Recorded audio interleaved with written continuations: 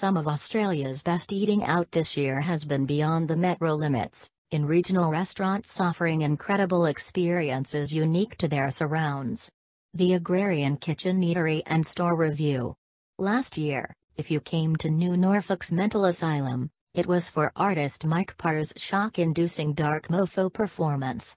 The irony isn't lost that a year later, festival goers are taking the same 3D 5 minute drive from Hobart for lunch. It's undeniably strange to be basking in winter sun, knowing the rattle of cocktails is replacing one time calls of despair. But you could also imagine far worse candidates for ushering Willow Court into a brighter future than Rodney Dunn and Séverine Demanet.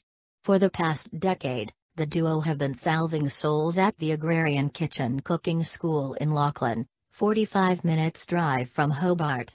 There in a crook of the Derwent Valley you pluck produce, pat goats, make preserves and eat lunch in the farmhouse of your dreams. Copper pans glow.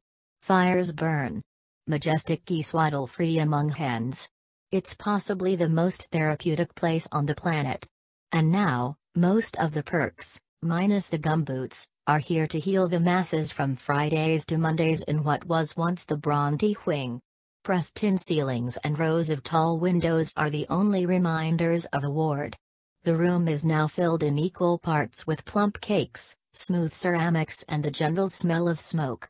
For the most part you'll be here to build a lunch of charcuterie, hyper-local produce and probably an all-in roast trimmed by myriad sides.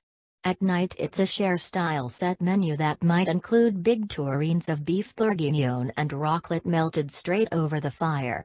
It has become problematic to describe agrarians' food of almost zero food miles, that is often pickled, fermented and wood-fired to the hilt, and where everything is made in-house, from their three-day risen, chewy-crusted sourdough to fresh churn butter, without grouping it with everywhere that's hammered those terms till they bleed. Suffice to say, the agrarian kitchen is what those places hope to be when they grow up.